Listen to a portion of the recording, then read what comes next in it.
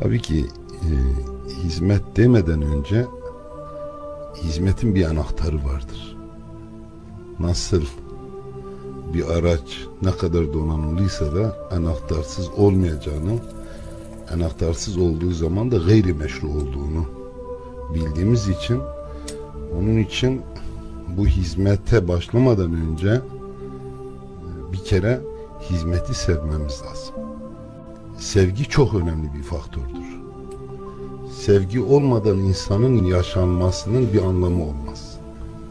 Tabii ki bize kendimizi o sınıfa koyuyoruz. Sadece o sınıfta olalım diye ismimizi kullanıyoruz. Gönül ehli olan insanlar ihtiyacımız her nefese ne kadar var ise aşka, sevgiye o kadar ihtiyacımız vardır. Biraz evvel söylediğim gibi aracın kiliti amaca ulaştırmaktır. Onun için şimdi bir büyüklerimizin bir şiiri aklıma geldi. Buyurunuz. Farsçadır bu şiir. Manasını, tercümesini yine yaparım ben. Tabi müsaade ederseniz. Cezbeu seyra suluki be muhabbet nabitin cehdeya be eşku hüb kendabiki bir fayda. Cezbe cezbeu seyra suluk cezbe demek Allah'a yaklaştıran, Allah'ı cezbettiren, insanın gönlünü Allah'a doğru cezbettiren ve saliklerin yani kemale erecek sülük, seyra sülük yani salikin seyir ettiği yol demektir. Salik demek e, manevi mertebelerin ehliyete haiz olan kişiye denilir. Ehliyet almış demiyorum ben. Ehliyete haiz olan kişiye. Bu nasıl olur diyor ki muhabbetsiz seyra sülük yapmak mümkün değil. Allah'a ulaşmak mümkün değil. Onun için ne kadar cehd edersen, gayret edersen, cehdeya bi eşku hüb, aşksız ve muhabbetsiz cehdi ne kadar ederse et, cehdeya bi eşku hüb ki bir fayda. Ne yaparsan yap faydası olmaz. Onun için her işin başı sevgidir. Çünkü Rabbül Alemin kainatı Peygamber Efendimizin sevgisinden dolayı yarattı. Kainatın yaratılışı yani temel gayesi yine sevgi üzerinde yaratılmıştır. Onun için bizim yapacağımız iş Allah yolunda gitmektir. Allah'ın kullarına adil bir şekilde nasıl davrandığını bu sebeple mahlukatı sevgi için yarattığını, bu sevginin de insanlara ilk önce faydalı olduğunu bilerek çünkü Peygamber Efendimiz buyurmuş hayrun nasi men yenfaun nas demiş. İnsanların en hayırlısı en menfaatli olanıdır. Yani insana hizmet edendir. Tabii ki bunun başında niyet önemlidir. Bu söylediklerimle beraber gaye Allah'ın cezbi ise gaye seyri sülük kamil insanların yoluysa o zaman hizmet o anlamda mana taşır. Sevgisiz yapıyorsan, niyetin yanlışsa hizmetin bir anlamış olmaz. Hizmet nimettir. Bizim Semerkant grubunun bir sloganı vardır. Büyüklerimizin bir sloganı vardır. Hizmet nimettir. Nimet biraz evvelki anlattığım şekilde ise o nimet gerçek nimettir yoksa zulmettir. Onun için e, ilk önce aşkla başladık. Hizmeti evet. e, nasıl aşk çerçevesinde olması gerektiğini e, Peki bu şekilde izah etmek. Efendim özür dileyerek ben bir sual daha sormak istiyorum. Hizmetin aşkla başlaması gerektiğinden bahsettiniz fakat niyet çok önemli dediniz. Niyet nasıl olmalı? Niyet niçin önemli? Evet. Biliyorsunuz yine Peygamber Efendimizin tabii ki o hadisi şerif uzundur. İnnemel amalu bin niyat ve innema li kulli reyin maneva. Biraz evvel yine söylediğim gibi nasıl aşk bir enahtarsa niyet de bir enahtardır. Aşk hizmetin anahtarı, niyet ise amelin anahtarıdır. Onun için niyet yine bir amel yapacaksan niyetin anahtarın yani elinde değilse o hizmete ulaşman mümkün değildir bu sefer. Onun için madem ki hizmetin niyeti anahtarsa hizmet nedir bu sefer? O anahtarı aldık elimize, içeriye girdik. Hizmeti nasıl yapmamız lazım? Hizmetimiz Kur'an ve sünnet ölçülerinde olmalıdır. Yani Allah ve Resulünün emrettiği şekilde olmalıdır. Kanunlarımızın çerçevesi ölçüsünde olmalıdır. Dinimize aykırı düşmediği takdirde. Çünkü din İslam mesele biliyorsunuz 50 küsür ülke İslam ülkesi vardır. Bu din bu 50 ülke bütün İslam camiasının üzerindeki bir şemsiye gibidir. Onun için Kur'an ve sünnete uygun olacak. Ondan sonra yasalarımıza uygun olacak. Kademe kademedir bunlar. Her birisinin ayrı bir önemi vardır. Ondan sonra gelenek ve göreneklerimize uygun olacak. Ondan sonra o iz, hizmet yapılan kurumun kurallarına uygun olduğu zaman o hizmet hizmettir. Onun için çünkü Allahu Teala insanlara akıl verdiği zaman ilmi öğrenmek için işte ilim de bu söylediğimiz kilitleri, muamelatları nasıl yapacağımızı.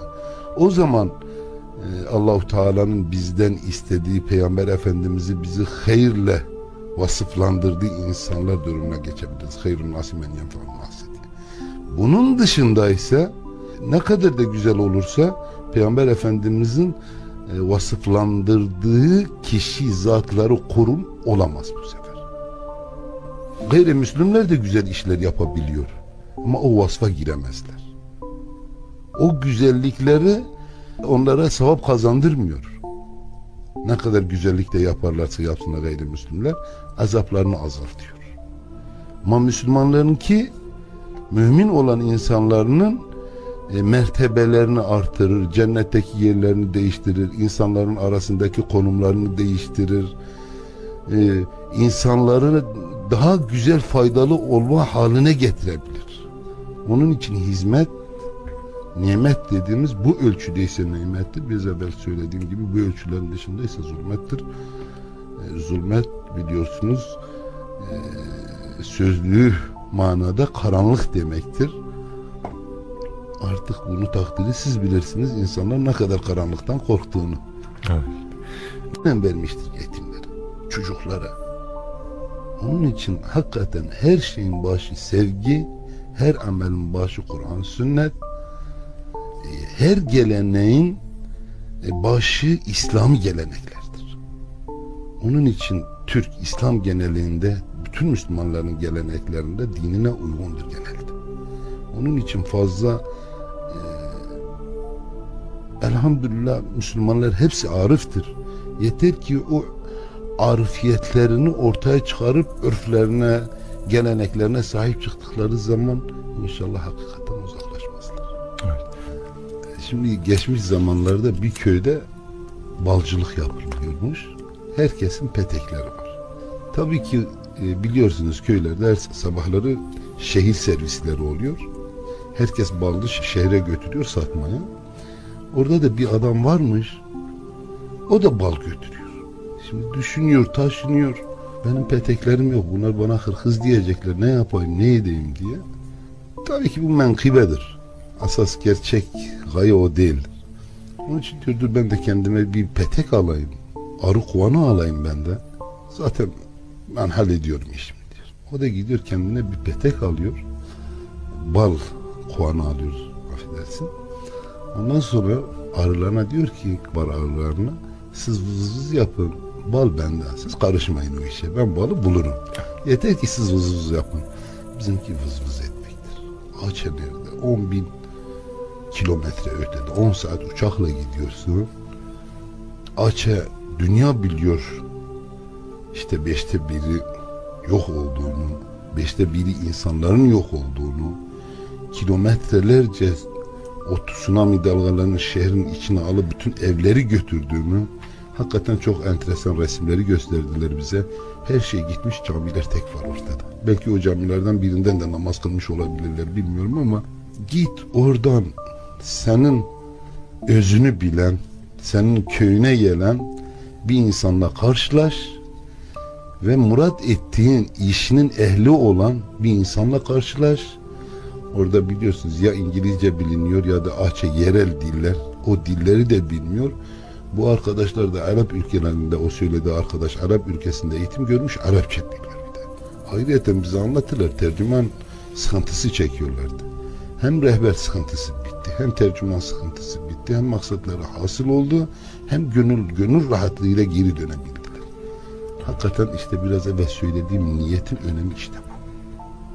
Güzel niyet işte büyükler onları uyarınca bunlar güzel niyetle gidince maksat kendiliğinden hasıl oldu. Hem madden hem manen gıdayı almış oldular. Yani almaya elverişli hale geldiler. Artık alıp almamaları kendileri devam edecekler.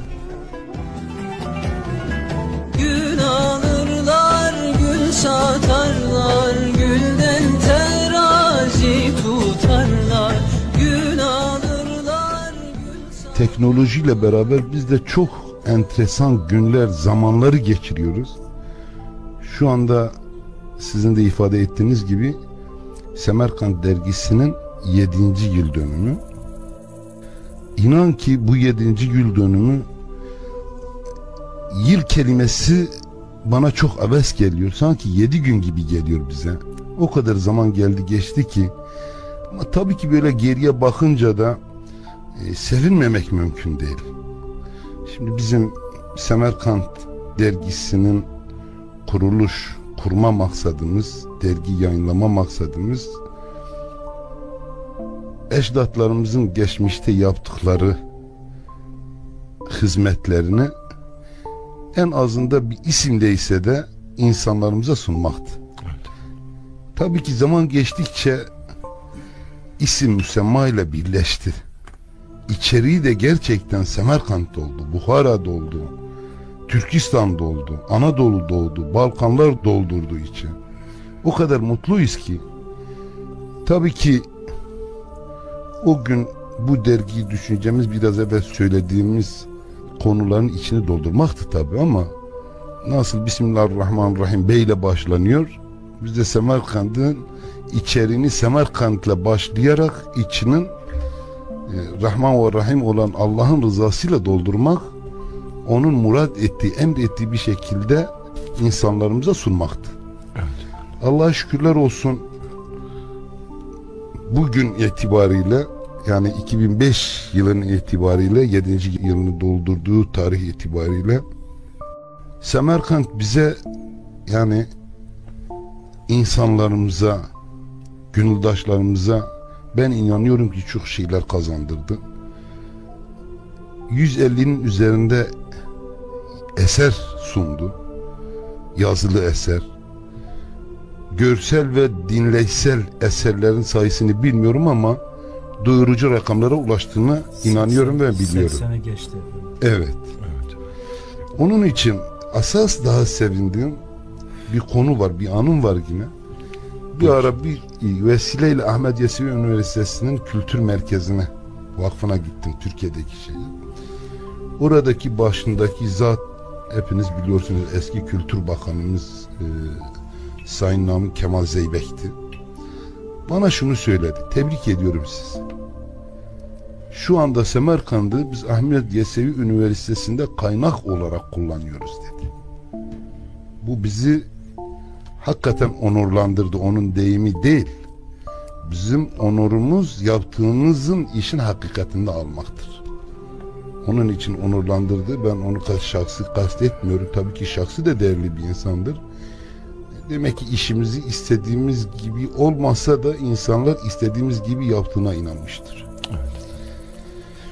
Tabii ki ilk yola çıktığımızda hedeflerimiz neydi? İşte biraz evvel söylediğimiz birinci hedef buydu. Tasavvufu tam manada insanlara anlatmak ama tasavvufu düşündüğümüz tarz değil. Tasavvuf demek biraz sonra belki o konuya da değiniriz ama belki şu anda yeri gelmiş iken e, tasavvuf demek e, bizim mana verdiğimiz Peygamber Efendimizin sıfatlarını taşımaktır. Tasavvuf safi demektir. Her ne kadar günümüzde saf insanlara saf ahmak yerine konuluyorsa gerçekten saflara ahmak diyen ahmaktır. Çünkü saf demek e, masivanın dışında Allah'ın dışında hiçbir şeyi düşünmeyen insan demektir. Sofiliğin şeysi o. E, büyüklerimizin yine bir sohbeti vardır. Ancak gerçek sofiler peygamberlerdir. Bizimki taklitiz. Gerçek manada sofiler onlar olduğunu. Burada bu gerçek tasavvufu anlatmak. Gerçek tasavvufun da biraz evvel söylediğim gibi e, her günümüzde tarikat deniliyor. Değişik değişik isimler veriliyor ama e, şemsiyesi tasavvuftur bunun. Manası da biraz evvel anlattığım gibidir. Peygamber Efendimizin ahlakıyla ahlaklanmaktır. Biz bu gerçek tasavvufu halkımıza, milletimize vermekti bizim maksadımız. Birincisi oydu. Tabii ki ekonomi olarak da memleketimizin gelir düzeyi az olduğu için e, bir okul yapacağımıza imkanımız olmadığı için, bir üniversite imkanımız olmadığımız için her evi bir üniversite bir okul yapmaktır.